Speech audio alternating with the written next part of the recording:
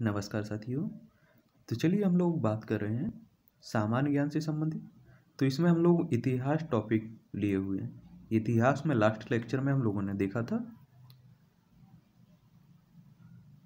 आपका भारत का राष्ट्रीय आंदोलन देखा था और स्वतंत्रता प्राप्ति तक हम लोग बात कर चुके थे।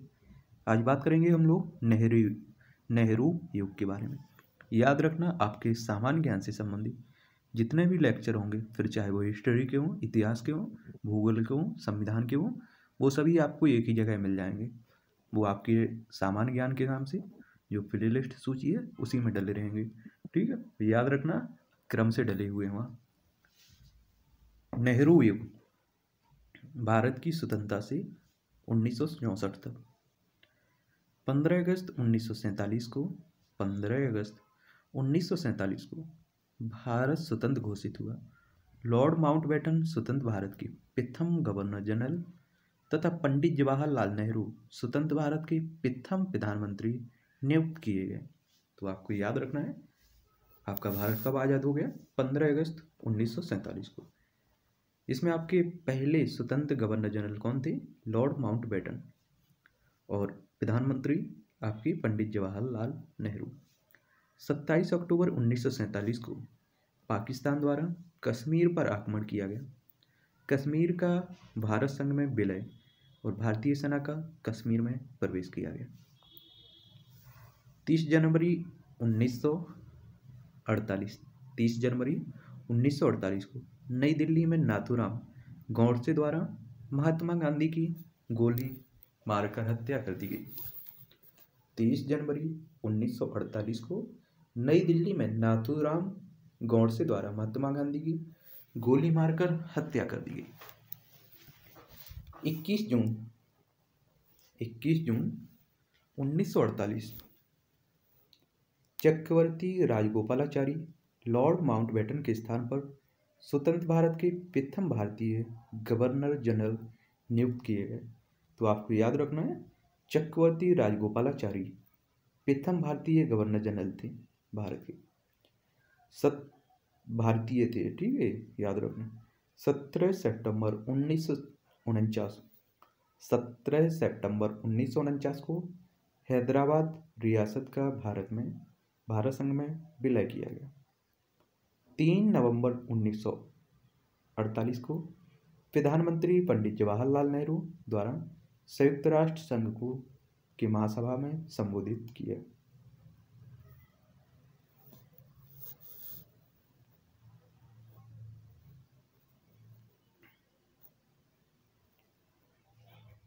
तीन दिसंबर उन्नीस सॉरी तेरह दिसंबर उन्नीस सौ अड़तालीस, भारत पाकिस्तान के बीच कश्मीर को लेकर युद्ध विराम हुआ। पंद्रह जनवरी उन्नीस सौ उनचास, जनरल के एम करियप्पा प्रथम भारतीय सेनाध्यक्ष नियुक्त किए गए। पूछ लेता है कि प्रथम भारतीय सेनाध्यक्ष कौन थे? तो याद रखना है, के एम करियप्पा। नौ सितंबर उन्नीस सौ उनचास को हिंदी राष्ट्रभाषा के रूप में स्वीकार की गई। छः अक्टूबर उन्नीस सौ उनचास को राष्ट्रीय रक्षा अकादमी का शिलान्यास किया गया। छब्बीस नवंबर उन्नीस सौ उनचास को संविधान सभा द्वारा भारतीय संविधान अंगीकृत एवं सर्वोच्च न्यायालय की स्थापना की गई इसी समय। ठीक है? छब्बीस नवंबर को। चौबीस जनवरी, कब? चौबीस जनवरी 1950 को संविधान सभा द्वारा जनगणमन राष्ट्रगान के रूप में स्वीकार किया गया। जनगणमन राष्ट्रगान के रूप में कब स्वीकार किया गया? 24 जनवरी 1950 को 26 जनवरी 1950 को। भारत संपूर्ण संप्रभुता, संपन्न लोकतांत्रिक गणराज्य घोषित हुआ। भारतीय संविधान लागू हुआ। राष्ट्र चिन्ह अशोक स्तंभ अंगीकृत किया गया। भारत भारत संयुक्त राष्ट्र सुरक्षा परिषद का अस्थायी सदस्य बना। देशी रियासतों के भारत संघ में विलय का कार्य पूर्ण हुआ, जैसा कि आपको पता हुआ 26 नवंबर को आपका कुछ प्रावधान संविधान के लागू हुए थे। पूर्ण रूप से आपका 26 जनवरी 1950 को ही लागू हुआ। 9 फरवरी उन्नीस सौ इक्यावन में स्वतंत्र भारत में पहली जनगणना प्रारंभ हुई। तो ये भी आपसे बहुत बार पूछ लिया, पूछ सकता है। कि स्वतंत्र भारत में पहली जनगणना प्रारंभ हुई? तो 9 फरवरी उन्नीस सौ इक्यावन में। एक अप्रैल उन्नीस सौ इक्यावन को प्रथम पंचवर्षीय योजना प्रारंभ हुई।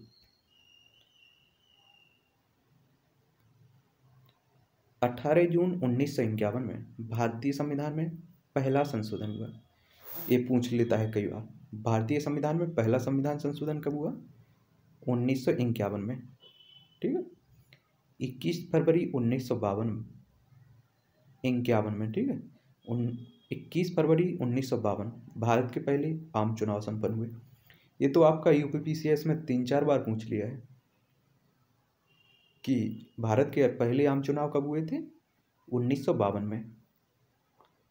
बारह मई उन्नीस सौ बावन को पहली लोकसभा की बैठक हुई। बारह मई उन्नीस सौ बावन को पहली लोकसभा की बैठक हुई। बारह अक्टूबर उन्नीस सौ तिरपन को आंध्र प्रदेश नामक नवीन राज्य गठित किया गया। एक अक्टूबर उन्नीस सौ तिरपन में श्रीमती विजया लक्ष्मी पंडित संयुक्त राष्ट्र महासभा की पहली महिला अध्यक्ष बनी।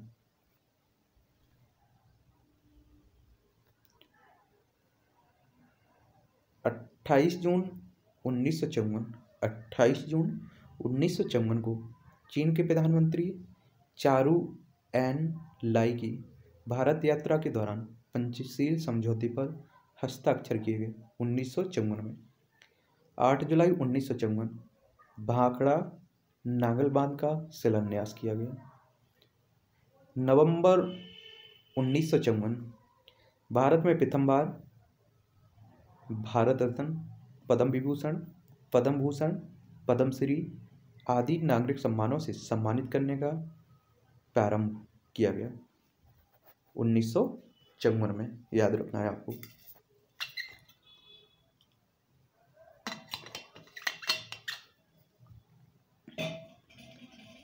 इक्कीस जून इक्कीस जून उन्नीस सौ पचपन, अखिल भारतीय कांग्रेस कमेटी की आवड़ी चेन्नई अधिवेशन में समाजवादी समाज का लक्ष्य स्वीकार किया गया।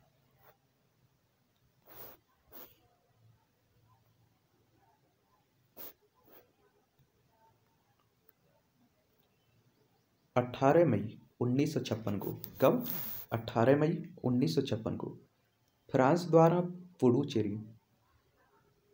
कर माइकल और माही की अपनी बस्तियों को भारत को समर्पित करने हेतु द्विपक्षीय संधि पर समझौते किए गए। फिर उसके बाद 22 मार्च उन्नीस भारत सरकार द्वारा एक सख्त संबद्ध को भारतीय राष्ट्रीय पंचांग के रूप में स्वीकृत किया गया। उन्नीस में भारत सरकार द्वारा सख्त संबद्ध को भारतीय राष्ट्रीय पंचांग के रूप में स्वीकृत किया गया। एक अप्रैल उन्नीस एक अप्रैल उन्नीस को भारत में दूसरा आम चुनाव संपन्न हुआ। पंडित जवाहरलाल नेहरू द्वारा प्रधानमंत्री के रूप में पुनः शपथ ग्रहण किया गया। पाँच अप्रैल उन्नीस डॉक्टर राजेंद्र प्रसाद दूसरी बार भारत के राष्ट्रपति बने। संतावन में, उन्नीस संतावन में आपके पंडित जवाहरलाल नेहरू दोबारा प्रधानमंत्री बने और डॉक्टर राजेंद्र प्रसाद दोबारा राष्ट्रपति बने। चौदह नवंबर, उन्नीस में पंडित जवाहरलाल नेहरू का जन्म दिवस, बाल दिवस के रूप में मनाने का प्रारंभ किया गया। चौदह नवंबर उन्नीस सौ सतावन से आपका बाल दिवस मनाया जाने लगा। पंडित जवाहरलाल नेहरू के जन्म दिवस के रूप में। बाईस फरवरी बाईस फरवरी उन्नीस सौ अट्ठावन को महान स्वतंत्रता संग्राम सेनानी मौलाना अबुल कलाम आज़ाद का निधन हो गया उन्नीस में। बाईस फरवरी को, ठीक है? बाईस अप्रैल उन्नीस को वाइस एडमिरल रामदास कटारी, भारतीय नौसेना के प्रथम अध्यक्ष नियुक्त किए गए। वाइस एडमिरल रामदास कटा, कटारी, भारतीय नौसेना के प्रथम अध्यक्ष नियुक्त किए गए। दो फरवरी उन्नीस सौ उनसठ को श्रीमती इंदिरा गांधी कांग्रेस की अध्यक्ष बनी। उन्नीस सौ उनसठ में आपकी श्रीमती इंदिरा गांधी कांग्रेस की अध्यक्ष बनी। इकतीस मार्च उन्नीस सौ उनसठ को, इकतीस मार्च उन्नीस सौ उनसठ को, तिब्बत पर चीन का आक्रमण एवं राजनीतिक शरण के लिए चौदह हज़ार शरणार्थियों से वहाँ के धर्मगुरु एवं शासक दलाई लामा का भारत आगमन हुआ। एक मई 1960 को, एक मई 1960 तत्कालीन बम्बई प्रांत का विभाजन कर नए राष्ट्र, नए राज्य, महाराष्ट्र, गुजरात का बनाए गए। ठीक है? बम्बई प्रांत को अलग करके। 26 नवंबर 1960 भारत में पहली S T S T D सेवा कानपुर एवं लखनऊ के मध्य प्रारंभ की गई। भारत में पहली एस टी डी सेवा कानपुर और लखनऊ में के मध्य प्रारंभ की गई थी। 26 नवंबर 1960 को। छब, उन्नीस दिसंबर 1960 19 दिसंबर 1960 को पंडित जवाहरलाल नेहरू की पाकिस्तान यात्रा एवं पाक राष्ट्रपति अयूब खान के साथ सिंधु नदी जल बंटवारे की संधि पर हस्ताक्षर किए गए। याद रखना, सिंधु घाटी सिन्धु सिंधु नदी जल बंटवारे की संधि पर हस्ताक्षर 1960 में किए गए थे। इस समय पंडित जवाहरलाल नेहरू और पाक राष्ट्रपति अयूब खान के बीच 24 फरवरी 1961 आता है फिर। मद्रास राज्य का नया नाम तमिलनाडु हुआ। पहले मद्रास के नाम से जाना जाता था तमिलनाडु को। इसका नाम 1961 में तमिलनाडु पड़ा। 18 दिसंबर 1961 भारतीय सेना द्वारा गोवा, दमन, द्वीप को पुर्तगाली शासन शासन से मुक्ति दिलाई। 1961 में सबसे पहले आपके पुर्तगाली आए थे, चौदह में के करीब। अंठानवे के करीब और सबसे बाद में गए 1961 के करीब, ठीक है? मई 1961 मई उन्नीस तीसरे आम चुनाव में सभी राज्यों एवं संघ शासित क्षेत्रों में कांग्रेस पार्टी सत्तारूढ़, पंडित जवाहरलाल नेहरू प्रधानमंत्री बने। पृथक नागालैंड संघ शासित क्षेत्र का गठन किया गया। गोवा संघ शासित क्षेत्र बना। डॉक्टर सर्वपल्ली राधाकृष्णन राष्ट्रपति पद पर निर्वाचित हुए। उन्नीस सौ बासठ की ये घटना है, ठीक है? मई उन्नीस सौ बासठ के करीब। पाँच सितंबर उन्नीस सौ बासठ, पाँच सितंबर उन्नीस सौ बासठ, डॉक्टर सर्वपल्ली राधाकृष्णन का जन्म शिक्षक दिवस शिक्षक दिवस के रूप में मनाया जाते हैं। सर्वपल्ली, डॉक्टर सर्वपल्ली राधाकृष्ण के जन्म दिवस के रूप में शिक्षक दिवस आपका मनाया जाता है। बीस अक्टूबर उन्नीस सौ बासठ, बीस अक्टूबर उन्नीस सौ बासठ, देश की उत्तरी सीमा नेपा और लद्दाख पर चीन द्वारा आक्रमण किया गया। छब्बीस अक्टूबर उन्नीस सौ बासठ, राष्ट्रपति द्वारा आपातकाल की घोषणा की गई। ये पहला आपातकाल है अपने यहाँ ठीक है? तीन बार लगा। तो ये पहला था छब्बीस अक्टूबर उन्नीस सौ बासठ को। इक्कीस नवंबर उन्नीस सौ बासठ, चीन द्वारा एक पक्षीय युद्ध विराम घोषित किया गया।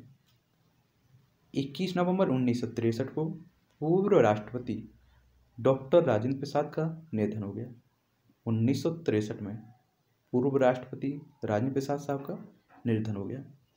एक दिसंबर उन्नीस नागालैंड भारत का सोलहवा राज्य बना। सत्ताईस मई उन्नीस सौ चौंसठ को पंडित जवाहरलाल नेहरू का निधन हो गया। सत्ताईस मई उन्नीस सौ चौंसठ को पंडित जवाहरलाल नेहरू का निधन हो गया। नौ जून उन्नीस सौ चौंसठ को लाल बहादुर शास्त्री भारत के प्रधानमंत्री बने। ठीक है? नेहरू जी के निधन के बाद आपके लाल बहादुर शास्त्री जी भारत के प्रधानमंत्री बने। तो ये ये था आपका नेहरू युग आगे हम लोग बात करेंगे आधुनिक भारत की राजनीतिक एवं राष्ट्रवादी संस्थाओं के बारे में।